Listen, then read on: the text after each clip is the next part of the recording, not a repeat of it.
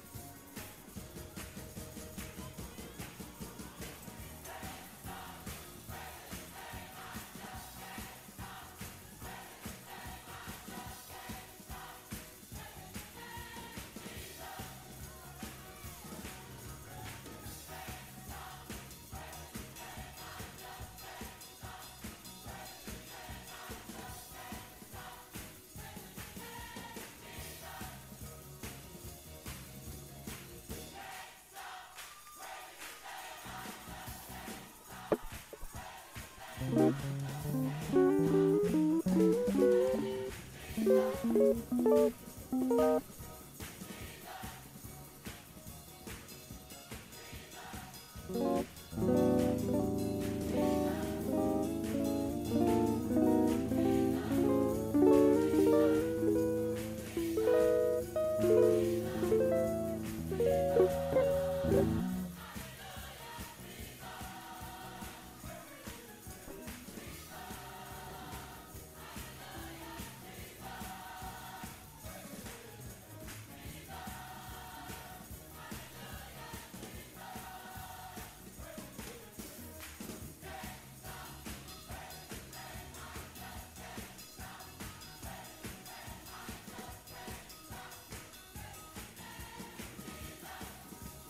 One, two.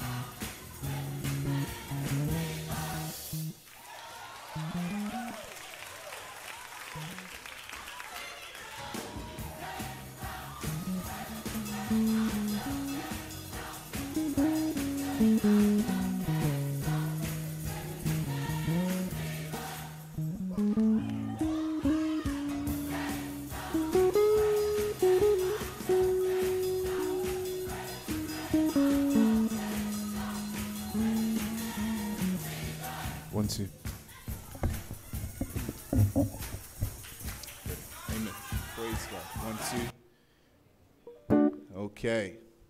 Um, you could turn um, my mic down a little bit. One, two.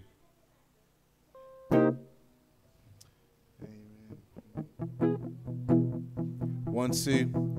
Everyone feeling okay this evening? Yes, we're good.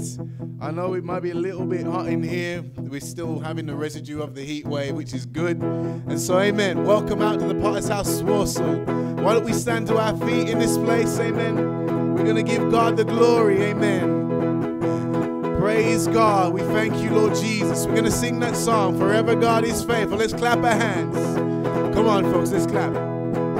Amen. You'll get it, you'll get it, you'll get used to it. Let's sing. Give thanks to the Lord, God and King. His love endures forever, for He is, for He is good and He's above all things. His love endures forever. Sing praise, sing praise, sing praise, sing praise with a mighty hand, a mighty hand and an outstretched arm. His love endures forever. For the life that's been reborn, His love endures forever. Sing praise, sing praise, and sing praise, Forever God is, forever God is faithful, and forever God is strong. Forever God is with us, forever and ever. Forever God is faithful, forever God is strong, and forever God is with us, forever and ever, forever. Sing with a mighty hand and an outstretched arm. His love, His love and endures forever. For the life, for the life that's been reborn. His love endures forever. Sing praise, sing praise, sing praise, sing praise, sing praise. Forever God is, and forever God is faithful. Forever God is strong, and forever God is with us. Forever and ever, sing forever God is faithful, and forever God is strong. He's with us. Sing forever and ever, forever. One more time, forever you are. Sing forever you are faithful, forever you are strong, forever you are with us, forever and ever. One more time, forever you are faithful. Sing forever you are strong and forever you are with us forever and ever sing forever. Amen. God you are good to us in this place lord. Yes god we trust in you. Amen. Amen. Hallelujah. One of my favorite songs. Amen. I want to encourage you to clap your hands. Amen.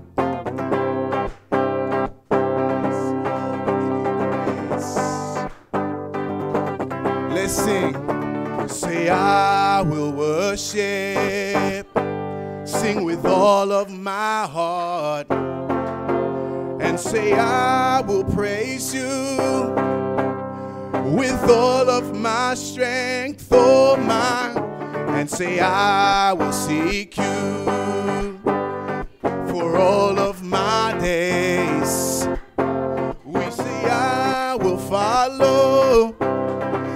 Follow all of your ways, oh your yes, and say, I will give you all my worship.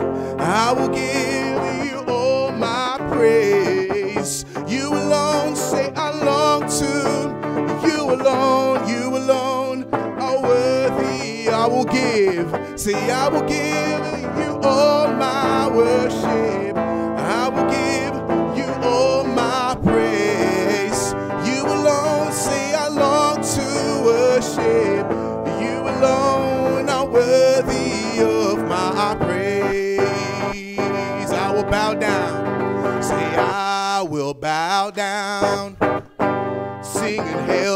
you.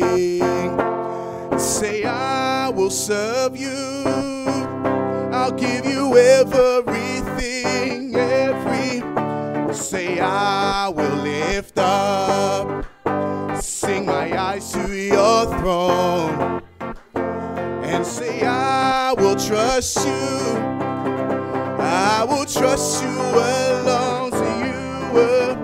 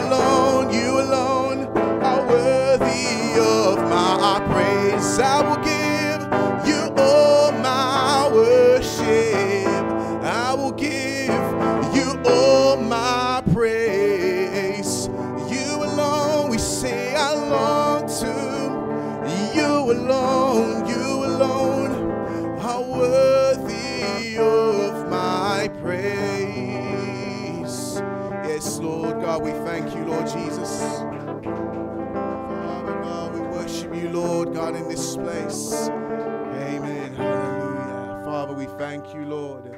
Amen. We're going to sing songs of worship. Forgive me, don't look at the mask. Amen. I have a spare one. Praise God. Amen. We're singing this song. We've been singing it for the past couple of weeks. I want people to get this song. Amen. Hallelujah. Sing from birth we were sinners and rebels,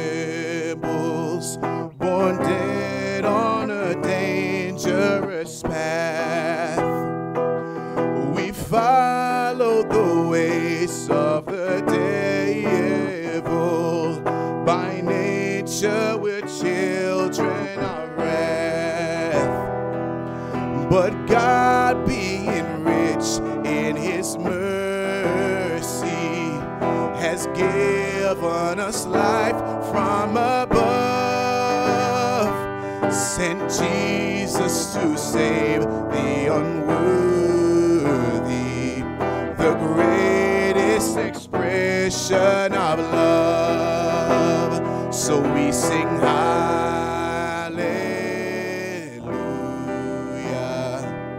Sing hallelujah. Say hallelujah. We say hallelujah. The Lord has provided atonement through faith in the Lamb we receive. We cannot boast, and we cannot boast for one moment. It's only by grace we believe. We're seated, we're seated in heavenly places, united with Jesus our King. God's kindness in all coming ages will cause us to worship and sing. We sing hallelujah.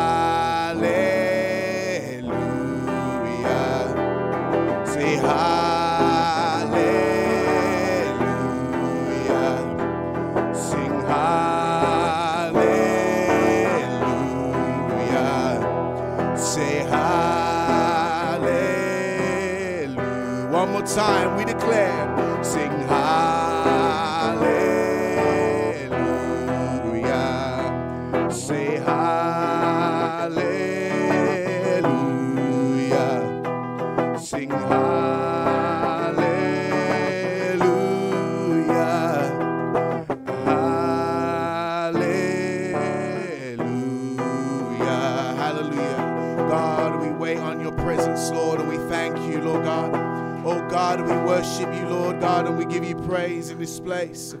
Amen, Father. We thank you, Lord. Amen. An old song, amen, that we did not introduce. We haven't sang it in a while.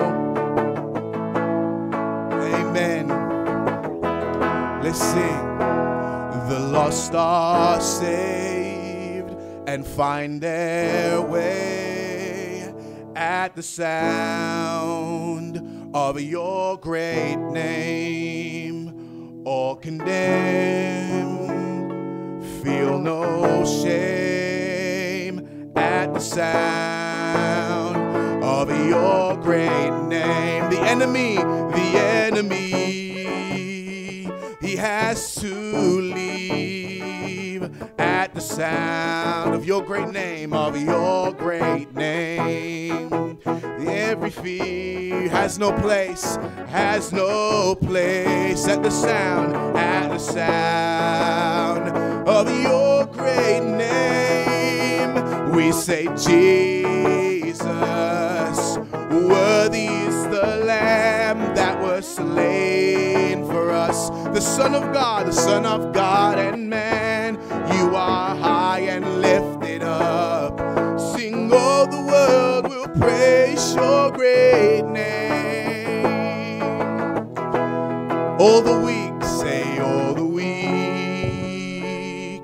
find their strength at the sound of your great name. Hungry souls, hungry souls, receive grace at the sound of your great name. The fatherless, the fatherless, they find their rest at the sound of your great name. The sick are healed, the sick are healed, and the dead are raised at the sound. Do you believe it, church? Of your great name. Say his name, Jesus. Worthy is, worthy is the Lamb that was slain, the Son of God, a man. Sing, you are and all the world, and all the world will praise your great name. One more time, we sing Jesus, Jesus.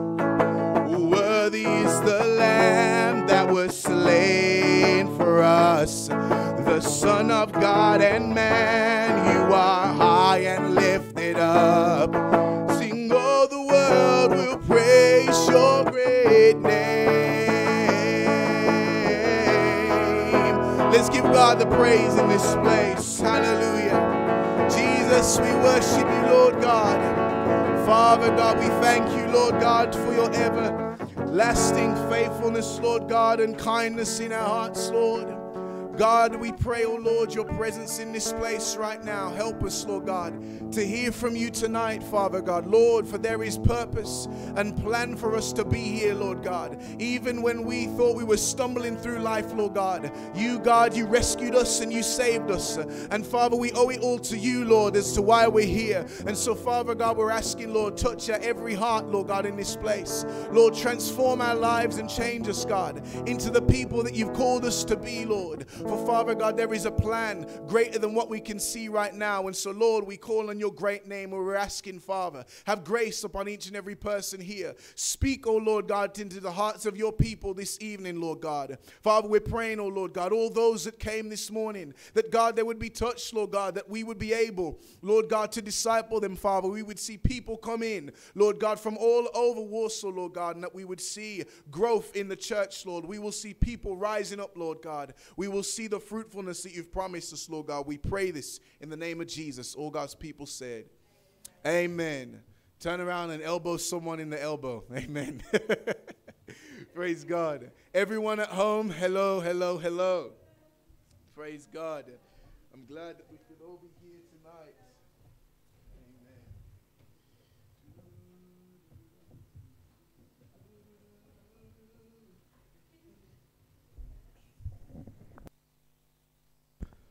One good thing about being up here is that I don't have to wear a mask.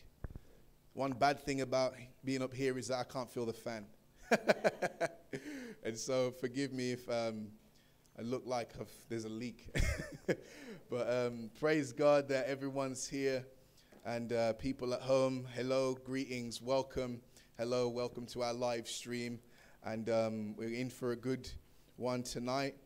And so um, let's believe God for God to speak to us in our way of announcements. Everyone, um, Wednesday churches as normal, 6:30 uh, for prayer 7.30 uh, evening service will begin. We're talking about relationships um, dating love marriage puppy love lust temptation. All of that all of that encompasses um, you know relationships we're talking about that on wednesdays and um, i'm just in prayer at the moment just believing god for what he's going to say to us next and what thing that he would um, you know have me say um, because you know relationships have the ability to destroy your life or to propel your life into something good, to something godly. The most important relationship that you need is a relationship with God first and foremost, and from there. Uh, our relationship should stem off what God helps us with, speaks to us about, and uh, and amen. We end up in His plan, and so praise God. My life is a testimony of that. So join us on Wednesdays and let's see what God will do. Um, and just a note to the men um, on Thursday and Friday this week, um, I should have announced this this morning, but nevertheless, here's the announcement. Thursday and Friday this week, um, usually the men would go down to uh, the London church because they have what's called a men's discipleship um, meeting. Um, and lots of other UK churches, they gather there every year. Um, but because of the restrictions, they can't do that this year.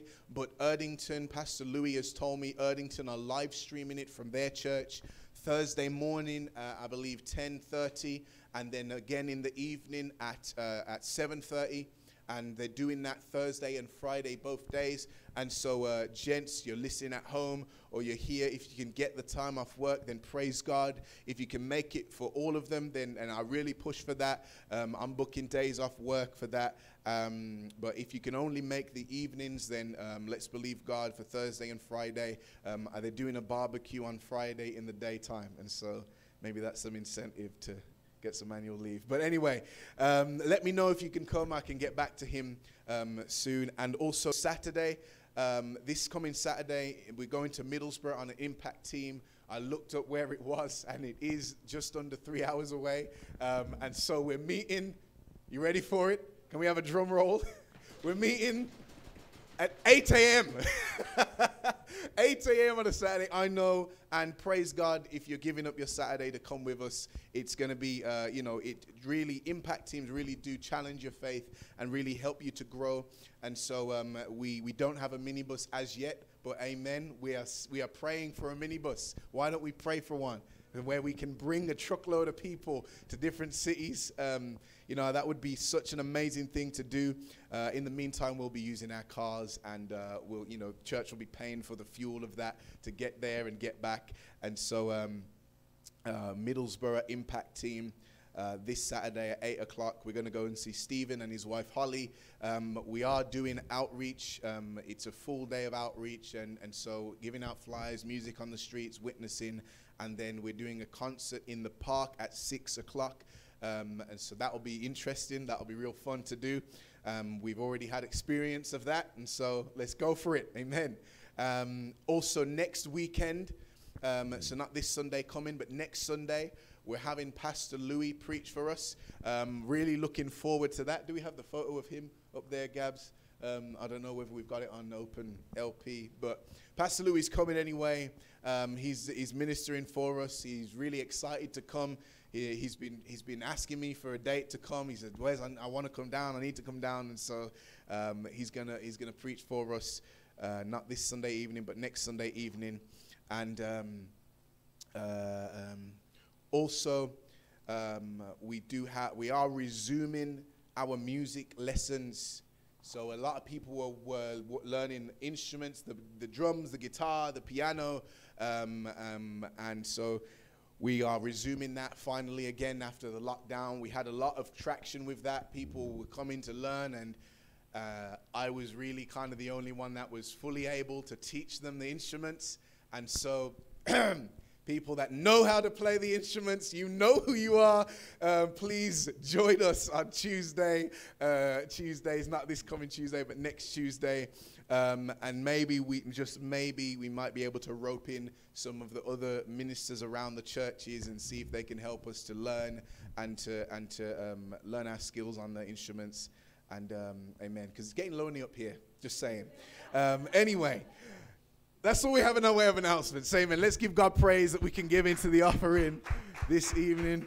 Amen. Amen. I encourage you give into the house of God. The the the, the buckets aren't coming around, um, but we do have online giving, and so uh, just just just note that this is uh, going towards your heavenly home. That you're investing in your heavenly home and, and uh, also the work of the Lord, the work of the church, what we're doing, um, you know, going out to other cities, investing in there. And I want to tell you, you can't put a price on a soul. That when you give, amen, there is a spiritual transaction that happens. People get saved. It's weird. You're not buying people. we don't believe in that. But God honors the gift, God honors the offering. And He says, I'm going to return that in many different ways. And so let's be a blessing to uh, our church. Brother Joseph, why don't you bless the gift and giver for us? Raise your voice. Amen.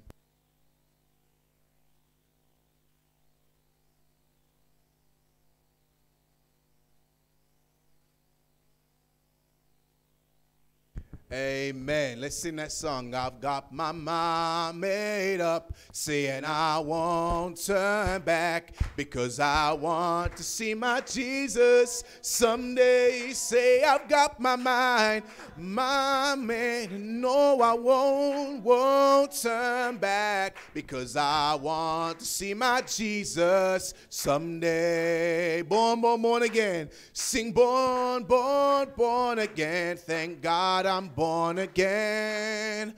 Born, born, born again. Thank God I'm born again.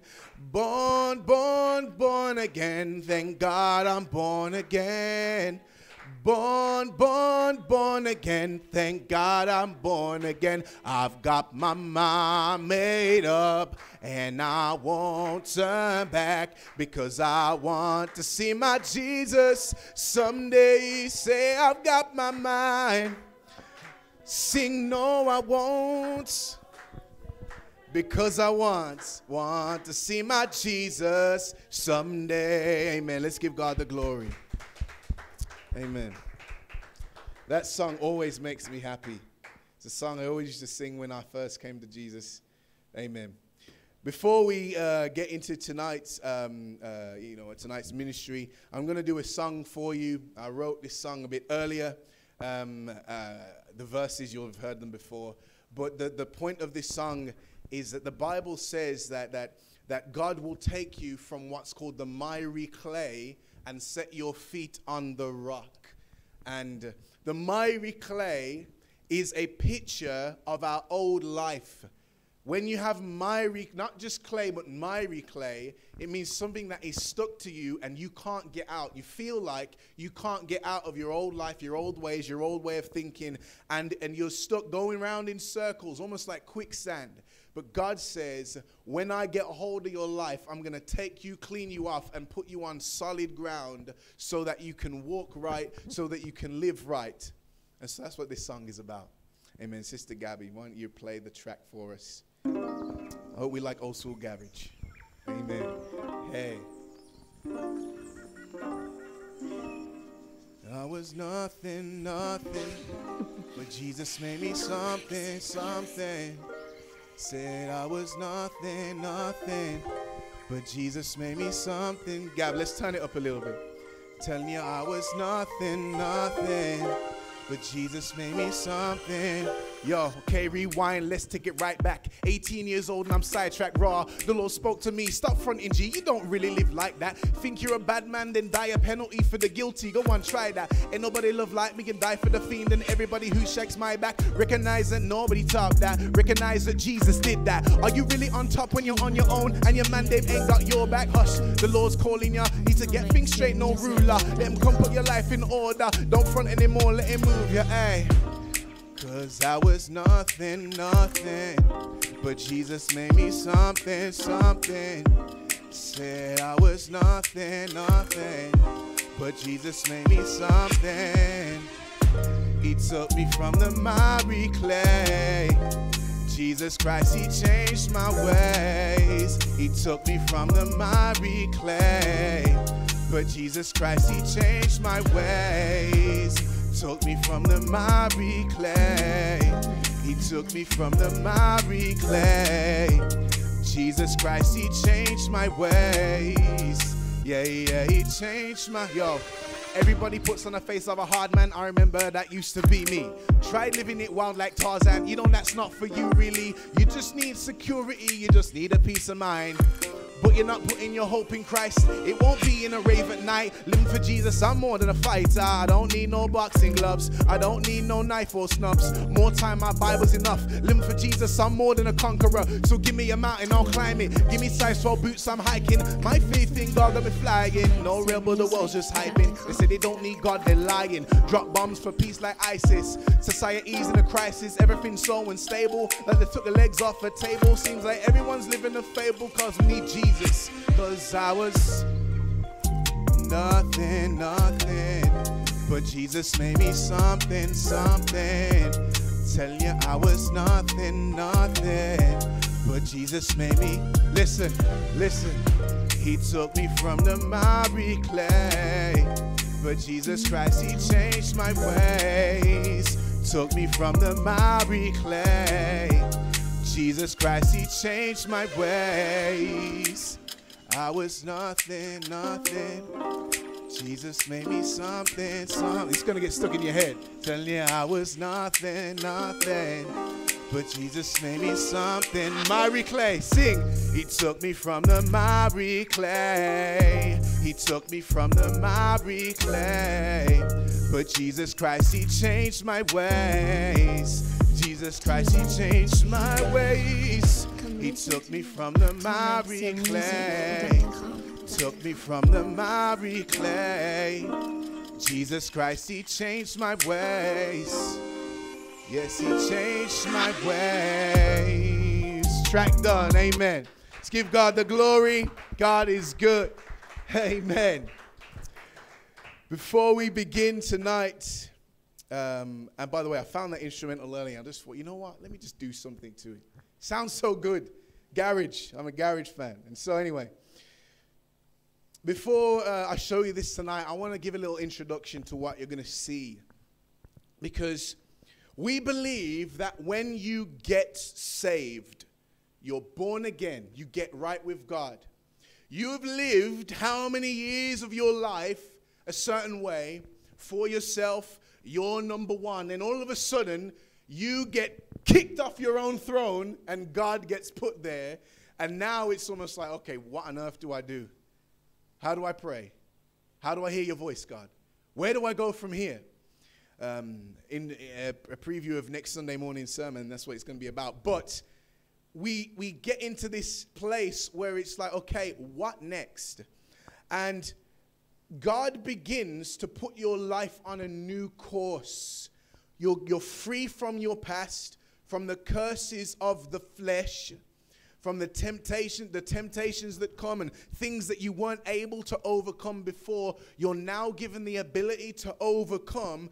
God gives you this new way of thinking, a new way of doing things because he wants to use your life for something that you have never been never seen before. He wants to use your life to a capacity you've never experienced before, and a big part of that is serving other people. Is that it? Serving people? Galatians 5 13 to 14 says, For you were called to freedom, brothers. Only do not use your freedom as an opportunity for the flesh, but through love serve one another. For the whole law is fulfilled in one word you shall love your neighbor as yourself. Romans 12 1. I beseech you, therefore, brethren, by the mercies of God, that you present your bodies a living sacrifice, holy, acceptable to God, which is your reasonable service. One thing about serving God is that, you know, people can think, oh, you know, you're just a servant of God. What does that mean?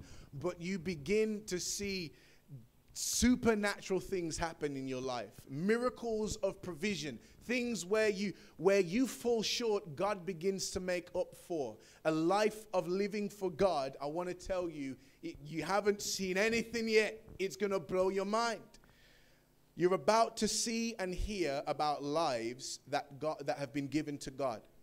God has used them for incredible things pastors and pastors' wives and people in the church, you get to see backstage and how God has touched their lives and many other lives through them. I want to tell you, God wants to use your life for something great. And so, this uh, particular production is called Where is the God of Miracles? It was done uh, by Tucson Church um, Tucson in there in America, Arizona, and uh, they're one of our leadership churches. And, and you know they've put together a very good production. And so um, just have a listen. Please allow the holy spirit to speak to you. Allow god to inspire you of what he could use you for. And you'll begin amen to see you'll just begin to be inspired amen. Allow god to speak to you. Um, why don't we um, uh, play that Gabby, and I'm going to switch off the lights for us.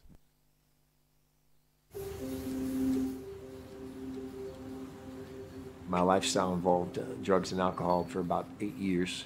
Started uh, dabbling when I was an early teenager. Coming to my fourth year of college, I played football, gotten injured, had my ankle reconstructed, fractured my collarbone at a different time. And so the invincibility that I thought I had when I was a young man was being challenged my dad had left my mom. You know, having your mom weep on your shoulder when you're still a young man was a challenge on top. I didn't even know how to begin to deal with that. Jennifer and I got married when I was just turning 20 years old. My real focus at that time, it was playing football. But at that point, I was really uh, caught by the devil in thinking that if you're a professional football player and you say, yeah, I believe in God and I believe in Jesus, that's all that's required. You don't have to really live a holy life, which was uh, to my demise. After uh, a night of partying and that kind of thing, I'm married, came to a place where I, I actually wanted to end my life. Graduating from high school, not having a real direction for life, uh, tried college, wasn't prepared for it Grew up in a very religious home, however, lots of fear, sickness, no blessing to speak of. I started hanging out with wrong people and I was at the other side of the law, started breaking the law. Cuando cumplí 14 años, mi papá, como regalo de cumpleaños, me lleva a un lugar en donde conocemos aquí en México como table dance, que es donde se le paga dinero a las mujeres por desnudarse mientras bailan. En ese momento mi papá como regalo le pagó a una mujer dinero para que tuviera yo mi primer encuentro sexual con ella.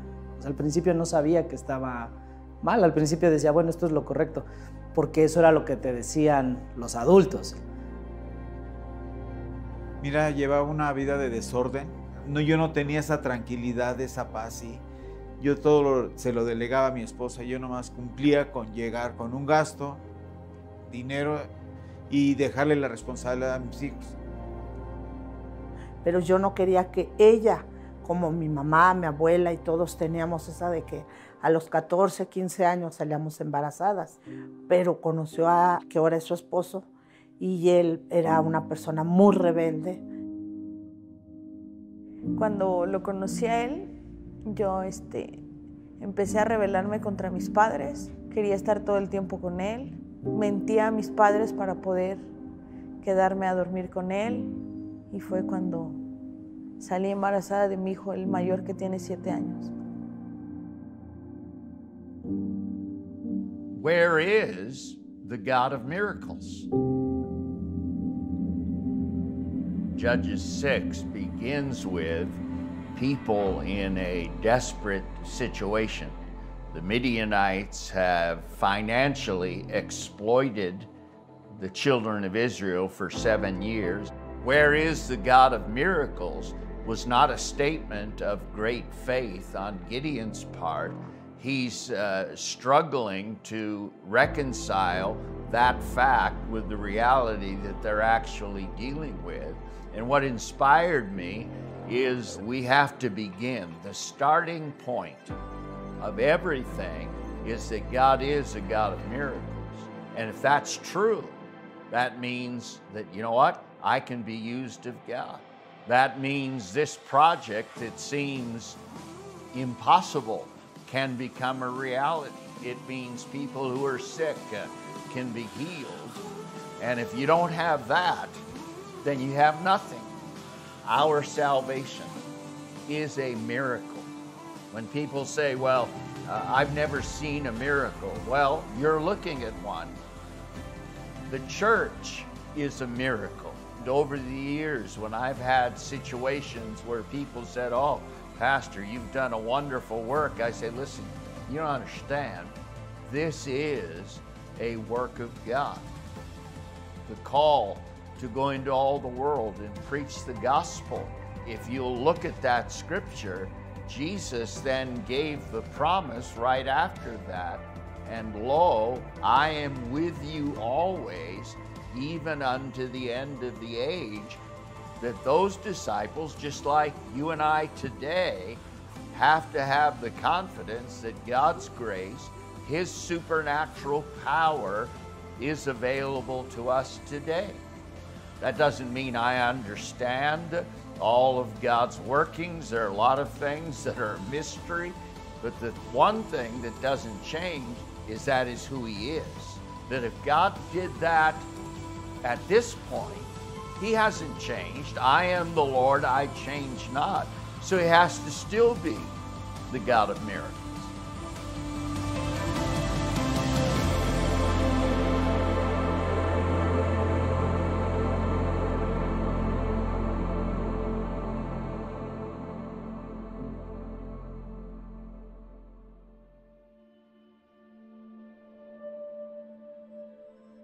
If we talk about idolatry, at that point in my life, I was the idol.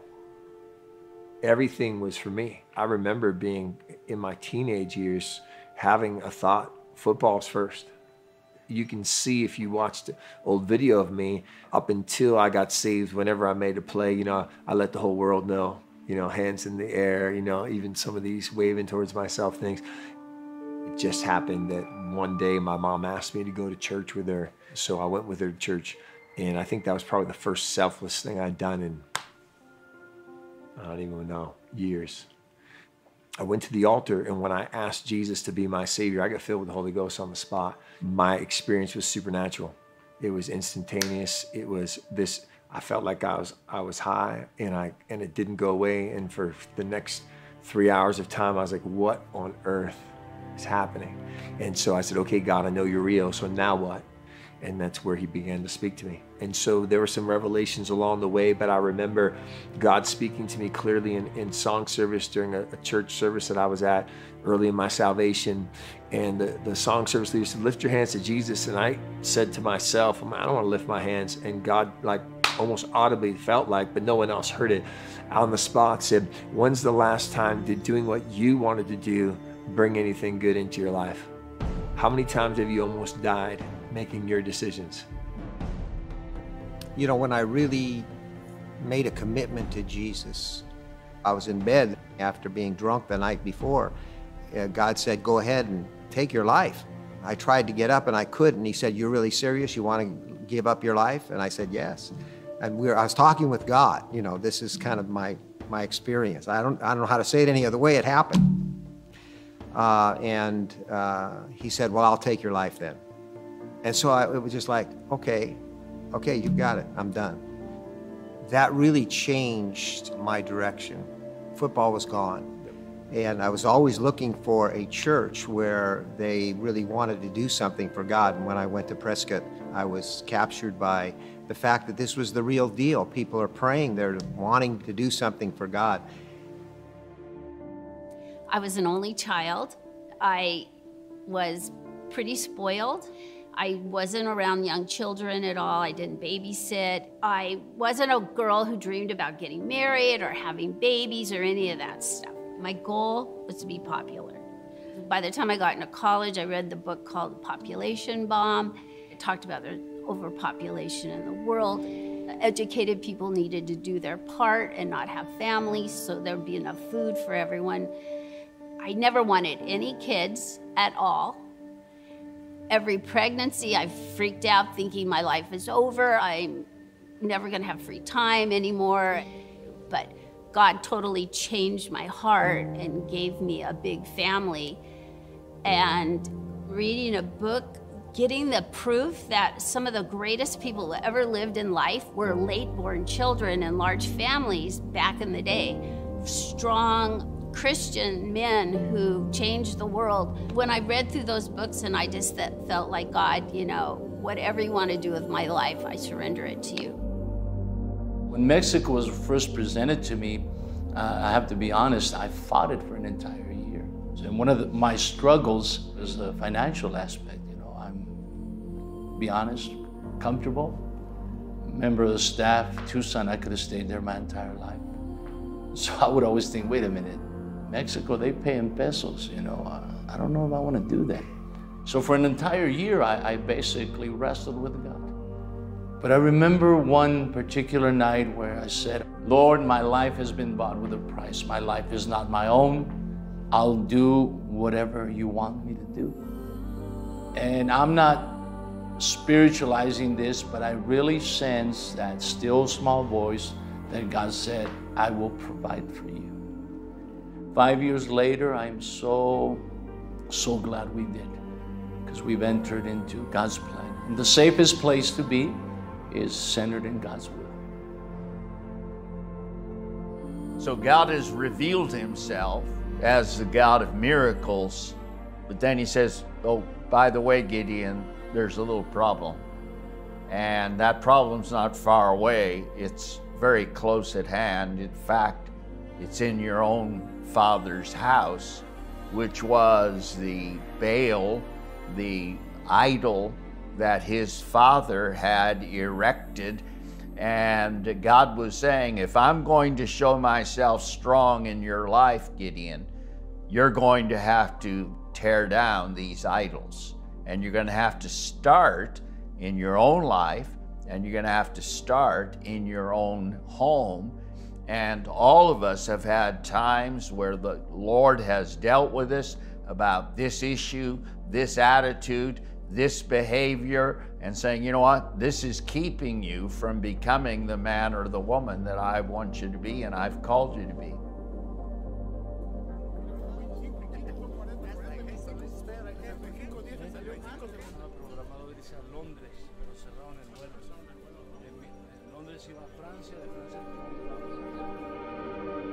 Antes de Cristo me dedicaba siempre a hacer fraudes, robo de vehículos, mentir a la gente. Mi trabajo se presta para eso. Me pedían, me encargaban los vehículos, necesito tal, tal carro, tal marca, tal año. Yo lo conseguía.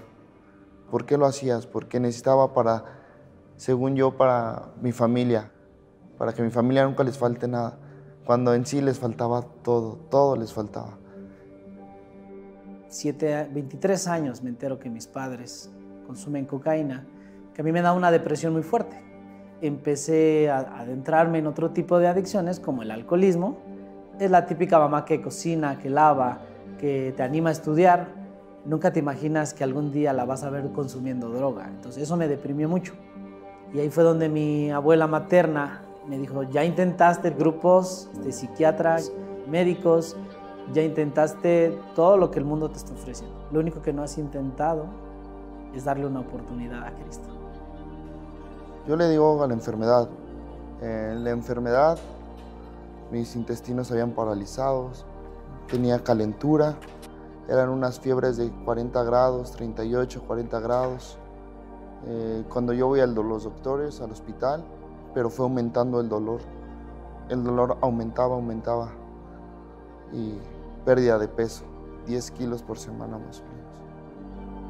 Yo tenía miedo, no sabíamos lo que él tenía, cómo se quejaba, no dormía, no, no comía, me, preocupaba y me preocupaba en el, también en el sentido de mis hijos. Este, en ocasiones él llegaba a decirme que, que ya se iba a morir, se despedía de nosotros, nos decía que fuéramos fuertes, que siguiéramos adelante sin él. Y sí fue mucho más el miedo, el miedo de perderlo a él y quedarme sola sin mis hijos. Yo me resistí mucho en querer darle una oportunidad a Cristo. La mamá de mis hijos, hoy mi esposa, fue la que me dijo, yo ya no te aguanto, ya no te tolero. Yo siguiéndola a ella para ver dónde se iba a meter. Y realmente no fue un golpe, sino realmente fue una, una caricia, podría yo decir, porque la primera vez que yo escuché de Cristo, en donde decían, venir a mí todos los que estén cargados y trabajados y yo los haré descansar. Y era lo que yo pedía, un descanso. Yo dije, si eres real, si realmente tú ofreces un descanso, ayúdame a descansar. Y ahí fue donde yo tuve una confrontación. Sentí una paz desde que empezaron a lavar, hicieron el llamado. La verdad no sé en qué momento me dijeron pasen enfrente y fui la primera que empecé a pedir perdón por todo lo que, lo que yo había hecho, el daño que le hice a él, lo que le hice a mis padres. Sentí como, como si hubiera nacido de nuevo en ese momento. Valoré a mis padres, valoré a mi esposo, a mis hijos.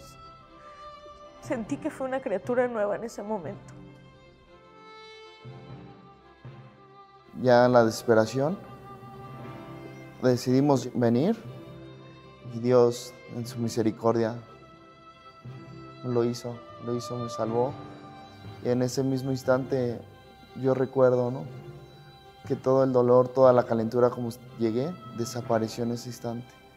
Cuando recibí a Cristo empezaron a orar por mí, llegó la paz, llegó la transformación. En ese instante puedo prometerlo, que sentí como mis intestinos, o sea, como que los movieron, los activaron. Todo ese día desapareció. Y de ahí mi vida empezó a cambiar.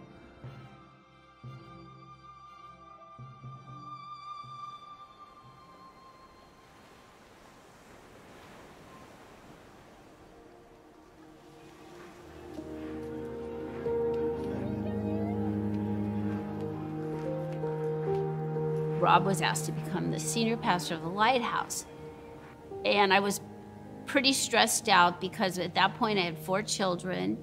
And the pastor's wife before me had been an administrator. She was a Bible school graduate. She did teaching. She was just hardcore Christian businesswoman in the church.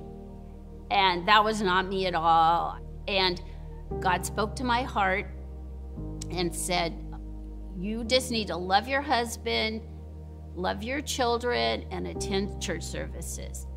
You know, I'm not to have to compare or walk in the footsteps of the previous pastor's wife. And that was a huge encouragement to me. In my life, has there been a time where I didn't really feel like I'm the person to take the gospel to the world or to be a pastor, even a disciple? I answer that question by saying, I still feel that way.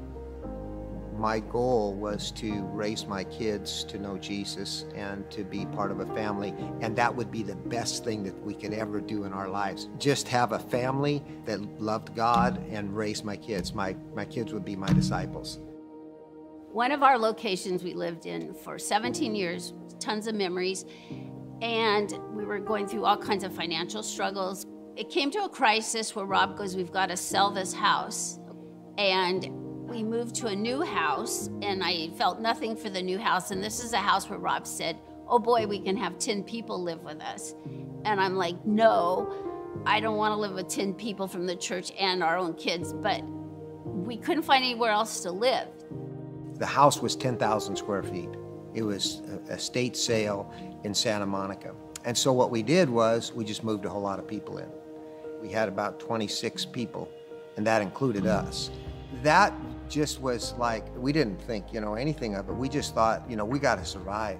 It was about $12,000 a month just to break even. It was difficult. It was very, very difficult financially. And I'm doing two jobs and uh, three jobs being a pastor of the church.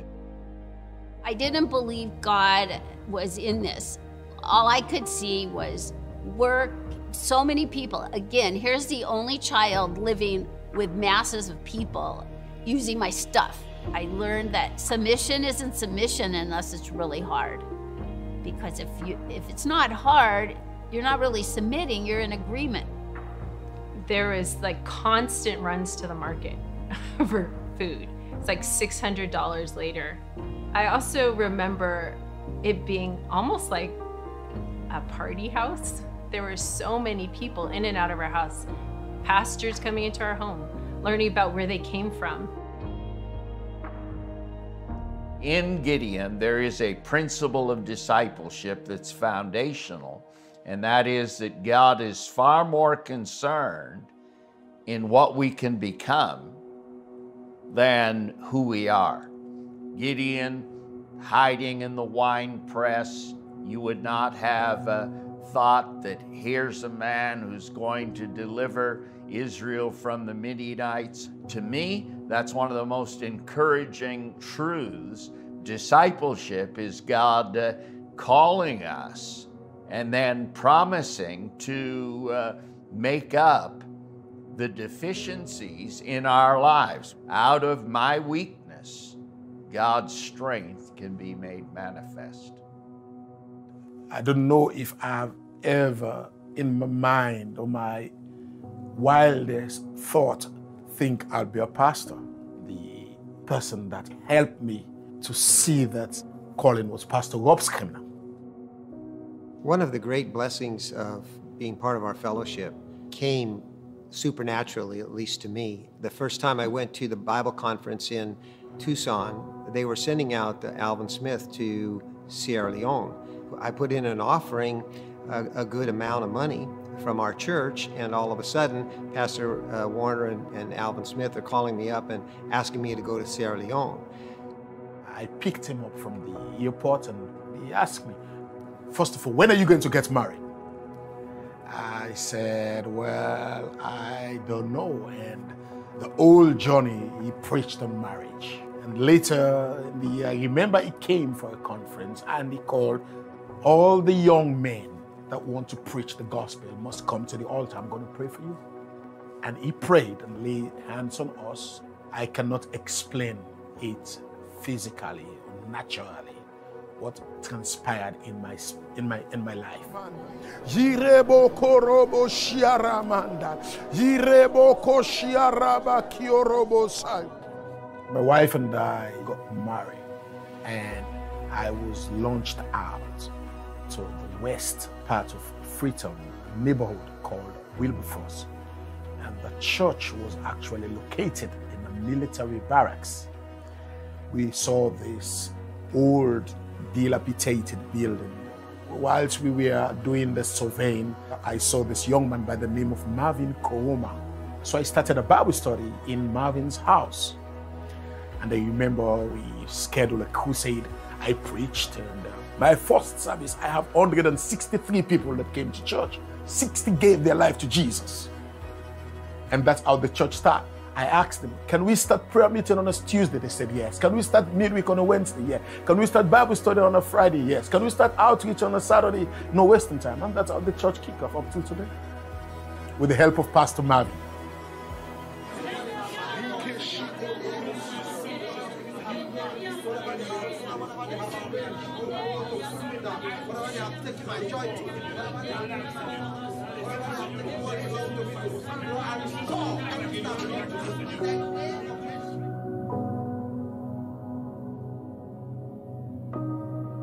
One of the difficulties in sharing your parents in discipleship living. There are certain things I think that I just I had to bury inside because I I just felt like I couldn't talk about it with them. You weren't sure if you're gonna have enough time to get through it all. And almost like a loneliness, you know, or feeling alone forced me to go to God. I was living in New York at the time, and my older brother Chris had recently gotten saved in California and had started attending the Lighthouse Church. And so my brother had said to me, Oh, I think there's this girl out here for you. And I told him he was crazy. Well, I came out to visit, and it, ends up happening where I bring a bag in through the front door, the Red Sea parts, and right there on the stairs in front of me is Bethany Scribner. And uh, I, I look at her and I'm like, oh, wow, that's not what I was expecting. We're a part of a very small group of people when you consider the whole world as a, a place where my daughters or my sons can find wives. That's a big thing with the, even within our fellowship. We want to have people that believe in God. Well, two of my children are married to people that lived in our house. You feel like you're in a fishbowl growing up as a pastor's kid, then being a pastor's wife. Like you have to do everything right. Some of that I think is self inflicted. Some of that, though, is definitely from other people. They have an expectation of you, and you have an expectation of yourself. And so you can crumble under the weight of expectations. I think it hit a climax actually when we had discipleship living and we were pioneering and I had three children. I remember just walking up the stairs one day with my like laundry basket for the millionth time and being like, I don't want to live anymore. God, like, can I, I just, I, I wasn't like, I wanted to commit suicide, but it was more like, I'm just done. I don't have anything left to give. It was honestly, though, at that moment that I remember just like going to sit down at the piano and play a worship song to God and crying through it. Like, it was a mess, sobbing. And God just holding me and speaking to me and saying, like, it's you're okay. Like, it's enough. You're doing enough. You don't have to please everybody. Those moments, as difficult as they were, my relationship with God like took off in those moments you know, as difficult as they were, I like wouldn't go back because I was a weak Christian without it. Just not able to deal with some of the things that I was going to have to deal with in pastoring marital problems and abuse and how do you relate and how do you deal with these things if you don't have those lows where God has to sustain you, where nobody else is the, the answer? When God came to Gideon and said, You have too many people for me to give you the victory, there was something very, very profound. God was making a point, and He said, If I do that, then Israel's going to say, My own strength has brought victory. There's something deeply embedded in human nature where if we have the opportunity, we're going to convince ourselves that somehow by my might, by my ability, by my good looks, by my education, etc., etc., I've done this. God said, I cannot be the God of miracles if you think like that. And so part of the process of winnowing down that army was bringing them to a place where they would realize that if there was victory, over their enemies, then there's only one person who can get the glory, and that is God.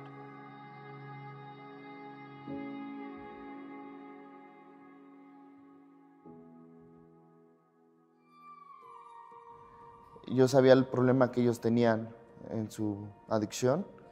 Yo sabía que estaban pasando por algo mal. Y yo le decía, si a mí me salvó, también lo puede hacer con ustedes y no me cansaba de ir a buscarlos.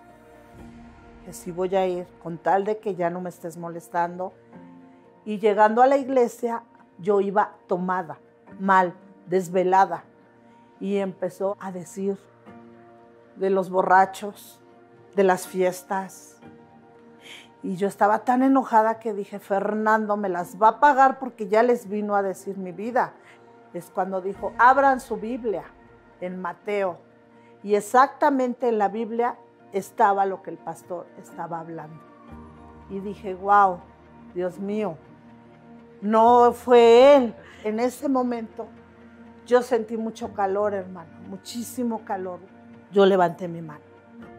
Yo dije, Señor, yo aquí voy a venir contigo, porque tú eres el único que supo mi vida. En ese momento yo ya no estaba tomada. Me levanté y era otra persona. Mi yerno me abrazó, me besó y me dijo, suegra, perdóneme. Y fue en el momento, sentí la necesidad de pedirle perdón a toda la gente que yo ofendí, a toda la gente que yo la trataba mal. Empecé a pedir perdón a todos. En ese momento que yo hice la oración cuando recibí a Jesucristo, ya no sentí ese peso. Yo llevaba incluso dolores de, de huesos, de espalda y todo eso. Y fue un cambio así también que yo lo vi sustancial de que ay, había algo, una paz. Y en la iglesia, ahí fue cuando yo supe pedir perdón y dije, Dios mío, voy a ver a mi mamá, mi madre. Ella me había abandonado, me había dejado con mi abuelita y era todo lo contrario. Mi abuelita se la quitó. Cuando la fui a ver, me dijo, ¿qué pasó? Que si me iba a morir, que si tenía cáncer. Me dijo, no, madre, perdóname. 54 años sin darte un beso, sin abrazarte. Yo quiero que me perdones.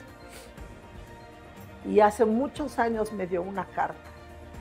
Me desea ella todo y me desea que yo la perdonara, que no era lo que me habían dicho. Y esa carta nunca la leí y la tengo. Y ahora que estoy en la iglesia, la leo y digo, Dios mío, qué grande eres. Y desde ese día para acá, yo voy a ver a mi mamá. La abrazo, la beso, vamos, venimos. Y fueron 54 años sin saber. Y fue Dios el que me unió con ella. March 9th, five years ago, we were flying over the city. We had 13 duffel bags with us coming to Mexico City to live here and start our ministry. I'm looking out the window at this massive city. I mean, millions upon millions of people. And perhaps my wife perceived my thoughts and she says, Jesus. And I said, What? Don't worry, she says, you don't have to win them all.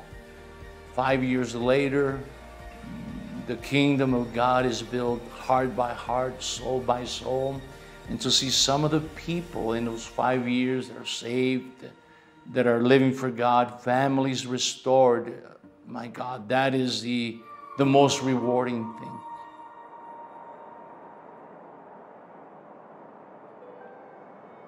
I started a public charter school that used the Lighthouse Church as its facility, and that ultimately helped out the church radically financially.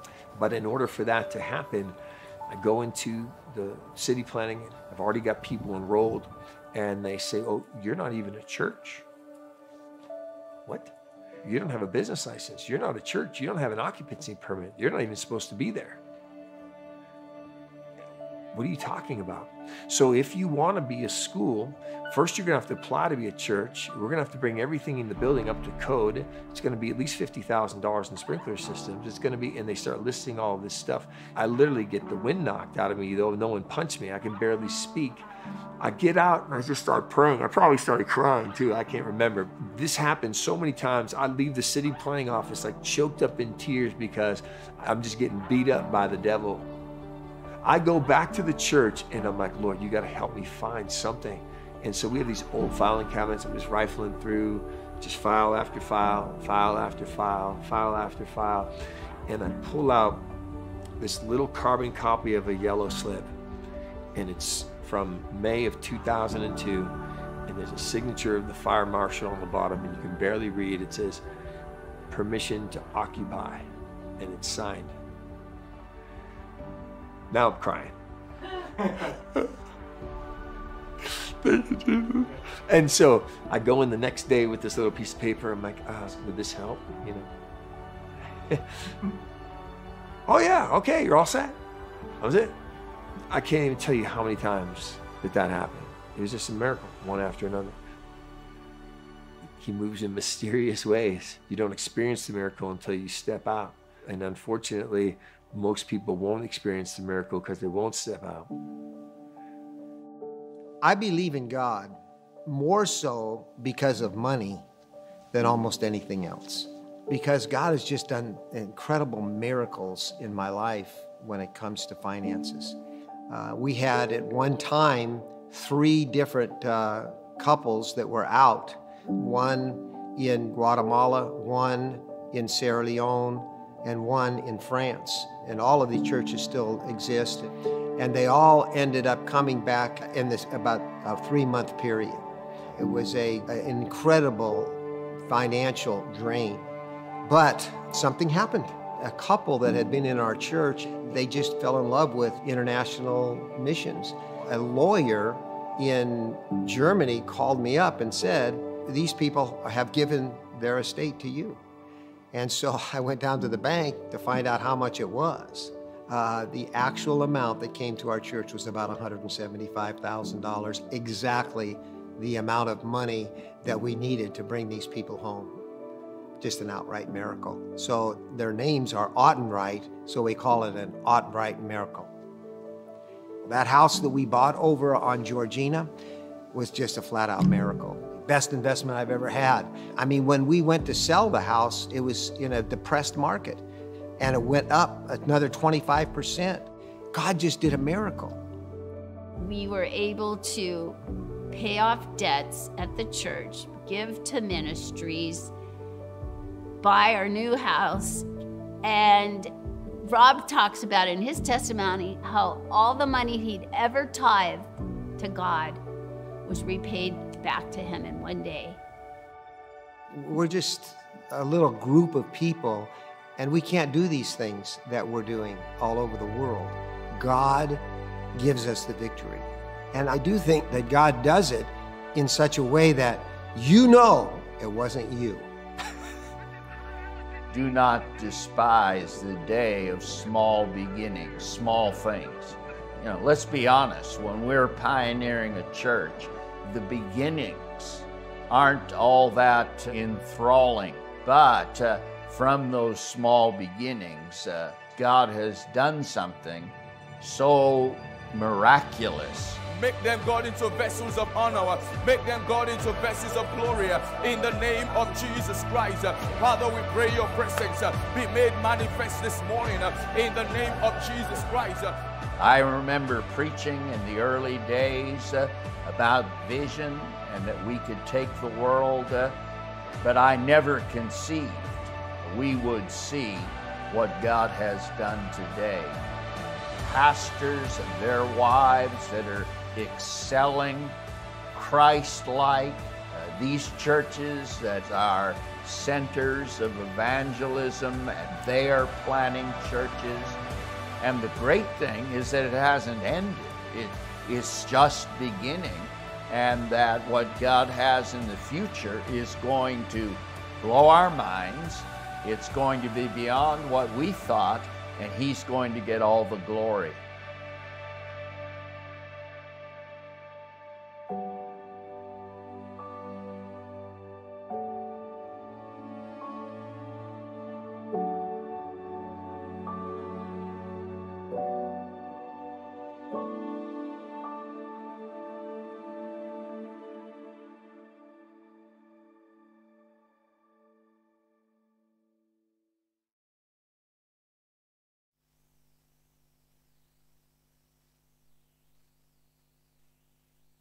So yeah, switch the house lights on.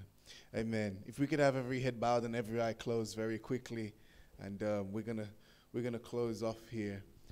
But um, I'm gonna say a few words. Amen. You know the the book of First Corinthians chapter two, in verse nine it says, Eye has not seen, nor ear, nor have entered the, into the heart of man the things which God has prepared for those who love him. Eye has not seen, nor ear heard, nor have entered the heart of man the things which God has prepared for those who love him. I want to tell you right now, God has prepared something for you in this life. God has prepared a path for you to walk in in this life. Many people miss out on what God is doing because, like the woman said, submission is hard. But this today, I really hope has inspired you because God wants to do a miracle in your life. God wants to give you a life full of them. But many times, what stops us from getting to God is our sin. What stops us from getting to God is the things that we want to do. We're on our own throne. We are the king or queen of our lives. And like the man said, when has doing things your way ever brought anything good into your life? I know we might have had, a, have, have had our fair share of blessing without God, but I want to tell you the end result is something that you don't want. The Bible says that God is not willing that any should perish in hell, but that should, but all should come to everlasting life. Maybe you're here and you've been living in sin. You've been living without God. You've been doing things your own way. But by this message and by just how God has a pathway for you to walk down, you're saying, you know what? I want to turn from my own path and I want to turn to God. So maybe you're in sin and you want forgiveness of your sin. Just raise your hand up in the air that I can see it. I can lead you through prayer. Maybe you're at home just a, as a sign to yourself. Lift your hand. You want to lift your hand and get right with God in this place. Just raise it up. You want to turn from your own way, turn to God. Amen. Amen. I'm going to say a prayer of repentance. Amen. If you want to say that with me. Amen. God wants to do a work in your life. Say, Lord Jesus, I know you died on the cross for me that I can live for you. Father, that I can be a Christian, that I can go to heaven when I die. And I know that you don't want me to walk in my own way, but you want me to walk down the path that you've laid for me. I pray that you change my heart, change who I am, set me free from sin. I receive your forgiveness. I receive you as my Lord and my Savior. In Jesus' name, amen. Maybe you said that, you're at home. Please text the word saved to the uh, uh, and your name to the number in the description in the video, and the church will be in touch. Maybe you're here and you said that, amen. God bless you. Or maybe you're Christian here and you're thinking, you know, what now? What next? What do I do? Where are my steps going to lead? The first thing is first, you just say, I'm going to put God first. I'm going to come to church. I'm going to sit and listen. I'm going to attend the things that are going on because I know that's where the instruction is going to come. And so this is now in your part. You know, whether you've been inspired, maybe there's pastors in here. Maybe there's pastors' wives in here, future leaders of churches, future ministers of the gospel you know, God has inspired you. Maybe He has. Amen. These altars are open. You turn in your seat or you pray where you are. This is your time to speak with God. Amen. Let's pray this this uh, this evening. Hallelujah. Father God, we thank you, Lord God, for this place, Lord God. Lord God, we're asking, Father, that you would inspire each and every person, Lord. Father God. Lord God, we're praying, oh, Lord God. Father God, that you would help us, Lord God to know what it is that you have for us, Lord God, that you would help us, Lord, to walk in your way. Father God, that we would not lead our own lives, Lord God, that we would not live selfishly. God, that we would live for you, Lord. God, that we would give ourselves to the will of God and be changed,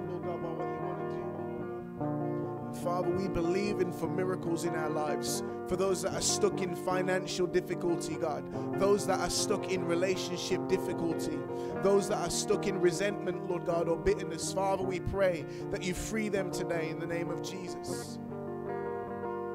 Father God, I'm praying that people would not be shut off to you, but God, you would help them to walk in your way in the name of Jesus. God, we pray, oh Lord, that you move in their lives, oh Lord God. Yes, oh God, we worship you, Jesus. Oh God, we thank you. Father, I'm praying those that aren't filled with the Holy Ghost, that you fill them, Lord God, in Jesus' name. God, help us, Lord God. God, to be on fire for you, Lord God, in Jesus' name.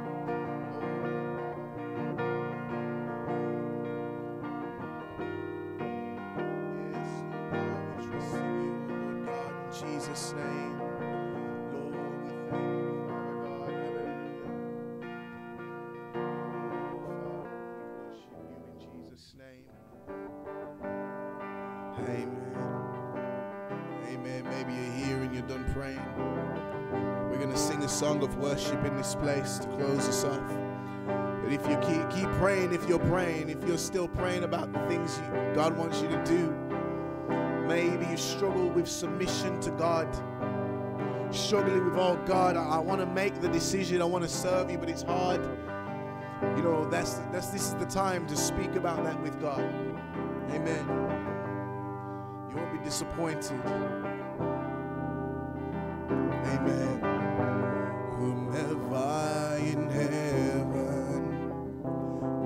You.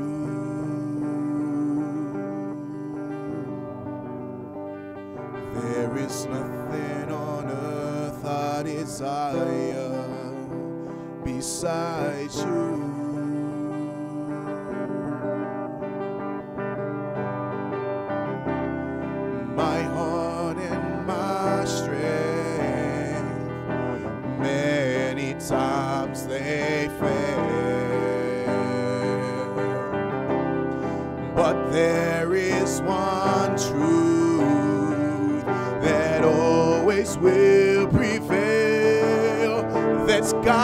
The strength of my heart. Say, God is the strength of my heart. Sing, God is the strength of my heart and my portion forever.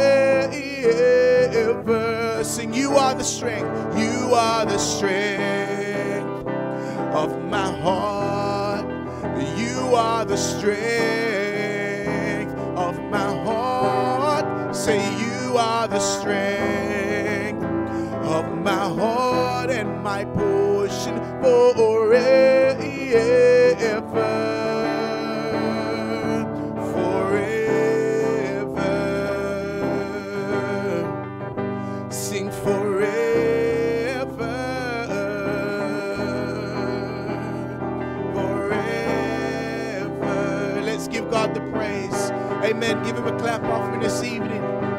God, we thank you, Lord, for what you're going to do in this place, Lord God.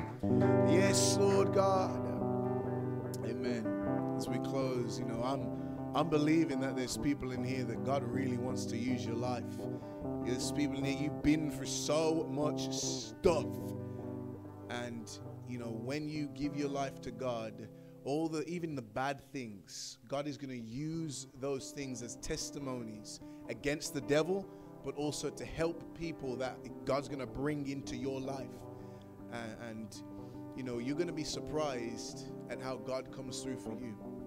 How many know it's not a miracle until all your options are done? and the only, the only person left is God. And He wants to do that for you, amen. And so uh, we're going to we're going to close off in a word of prayer, but I really want to inspire everyone. Keep on living for God. Keep on living for Him because you have no idea where He's going to take you. And I didn't imagine that I would be here, but just listening to the stories, I've heard these things so many times. I've experienced some of the things that they're talking about. And so God is ready to move in your life. Amen. You just got to submit your steps. And so let's close, off in a word of prayer. Amen. God, we thank you, Lord, that you are the God of miracles. You show yourself, Lord God, in many different ways in our lives. And God, whether it is in our minds, in our hearts, in, in, in physical terms, Lord God, whatever the miracle that we need, Lord, we are praying. I'm praying, Lord God, your hand over each and every person in his life, Lord. That God, we would see you as the God of miracles. You're going to move for us, and we believe that you're going to change our lives, Lord God, as we submit to you. In Jesus' name, all of God's people said together. Amen. Amen. Be blessed, everyone. Be blessed. Amen.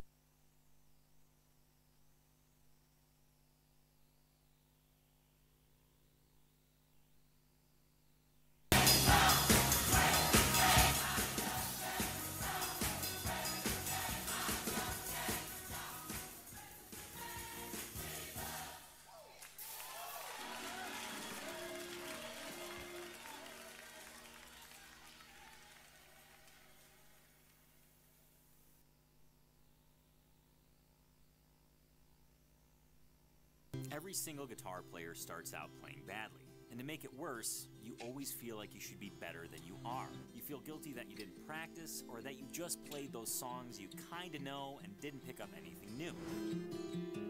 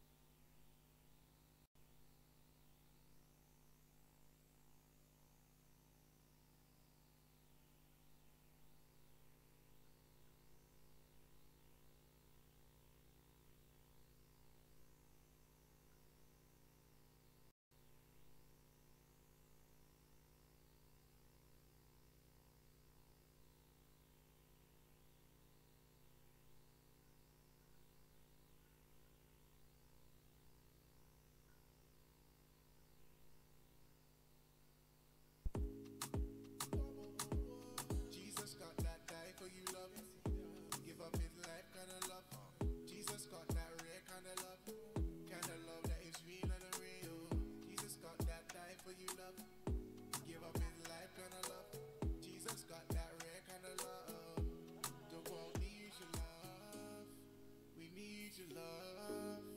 We want your love. We need your love. The world needs your love. We need your love. We want your love. We want your love. We need your love. Tried looking for that love in a one dance, one night stand, but never did last. Scarred on my heart like a tattoo. Love for the river, me back like a lasso. I was hurting, so I started skirting.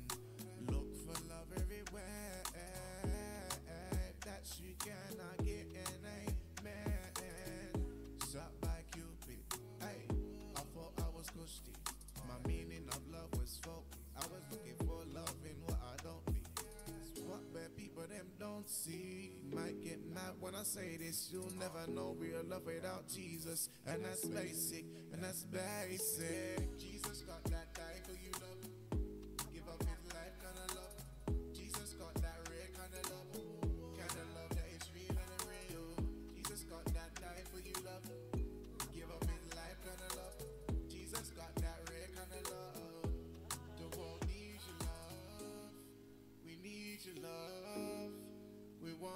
Love.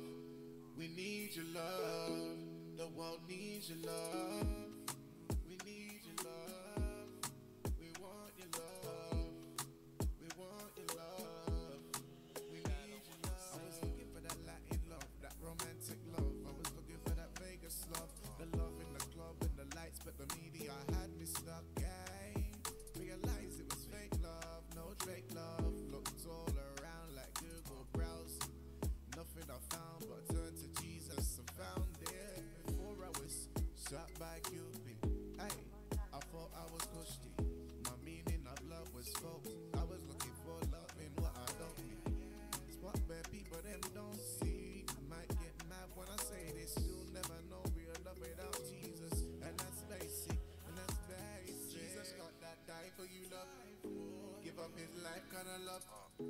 Got that rare kind of love, kind of love that is realer than real. Jesus got that die for you love, give up his life kind of love. Jesus got that rare kind of love. The world needs your love.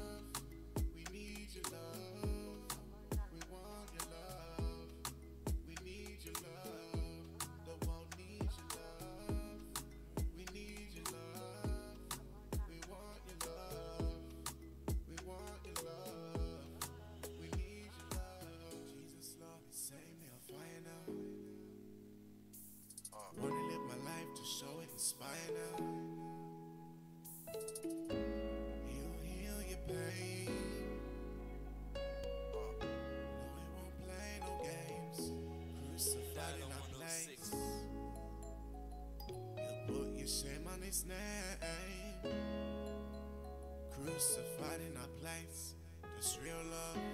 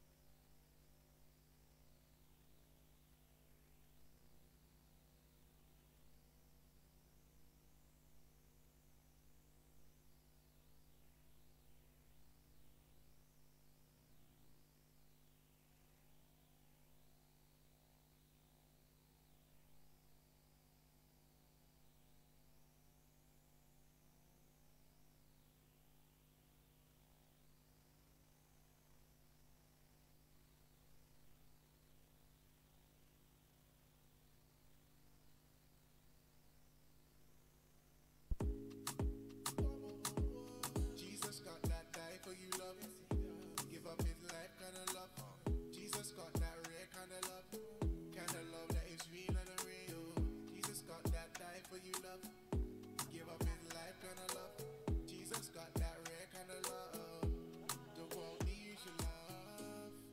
We need your love. We want your love. We need your love. The world needs your love. We need your love. We want your love. We want your love. We need your love. Looking for that love in a one dance, one Scarred on my heart like a tattoo. Love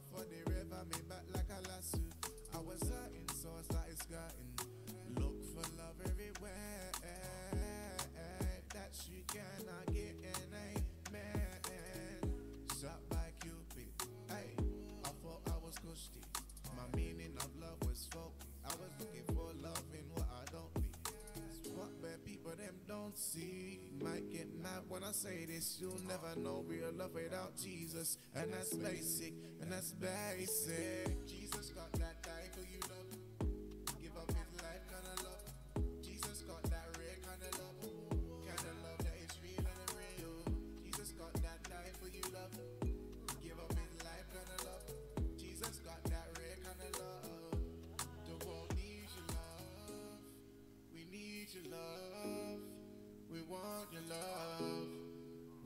your love. The world needs your love.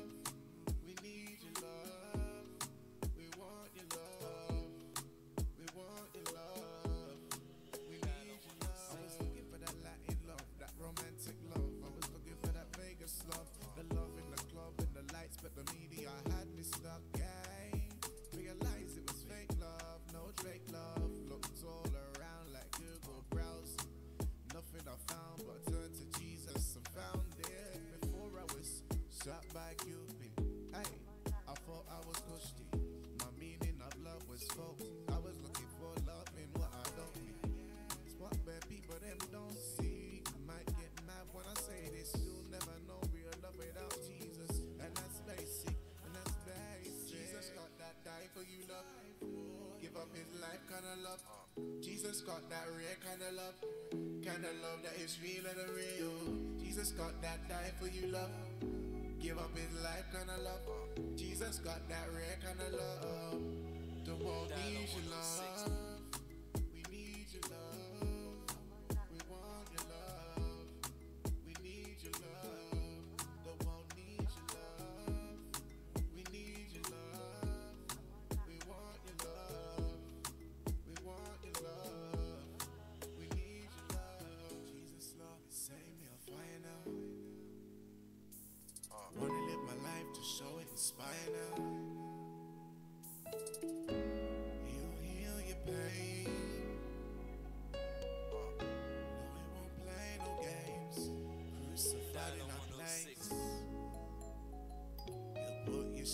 his name.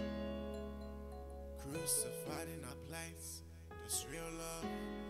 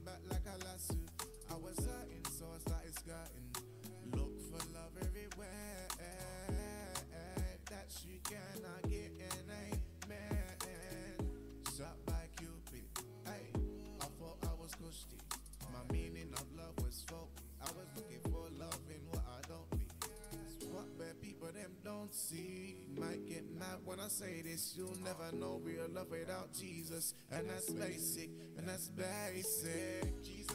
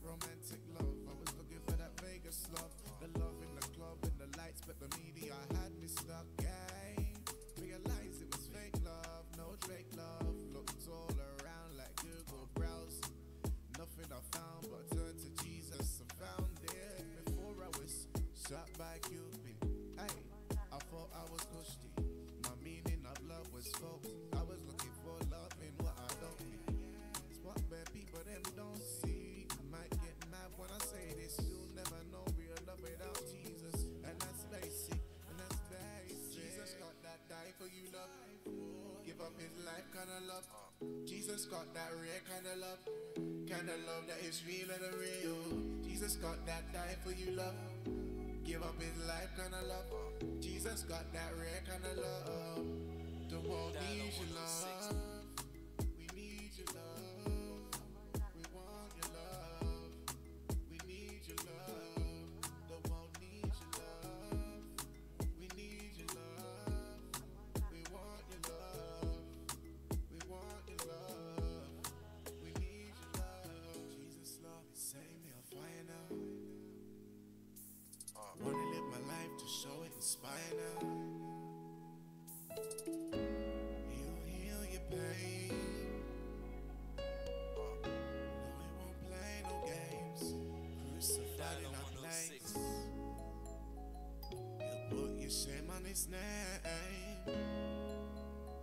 Crucified in our place,